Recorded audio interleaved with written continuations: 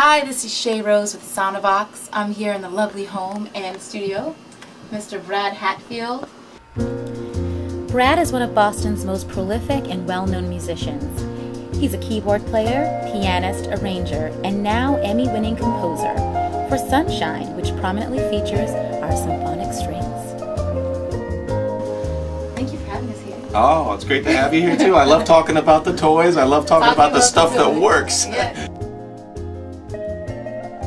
I was looking for something really simple and open, and um, so the uh, the track is rather sparse. It's piano, harp, uh, the muted strings. They've got this sort of unsettling. Uh, I always get goosebumps when I, you know. uh, That's good. Get the goosebumps yeah, with the symphonic it's- string it's all library. about- it's all about uh, it's all about making that pass and go ooh.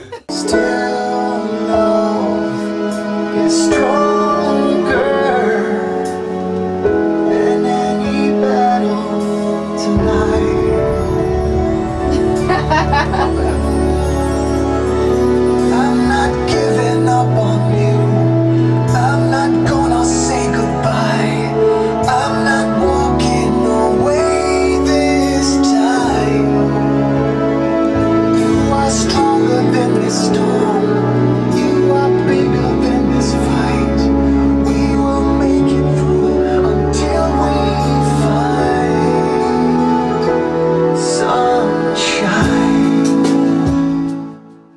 first introduction to the symphonic string collection was for Mi- Mystic, River, music yeah. for Mystic River. Yeah, that's correct. And it was like an under the gun, has to work right now, has to be easy to figure out right now deal.